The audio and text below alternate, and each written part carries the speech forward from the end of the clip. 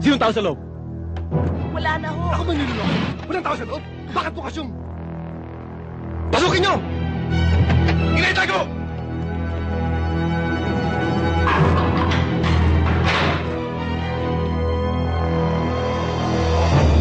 Bobby! Huwag ka na magtakal lumaban! Sumama ka na sa amin sa munisipyo! Sa anong kasalanan, Mayor? May reklamo sa'yo si Congressman! Sasagutin mo yun sa batas!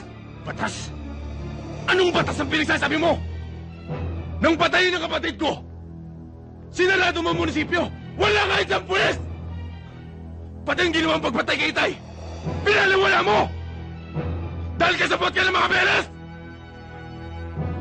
Mayor! Makukuha mo lang ako kapag patay na ako!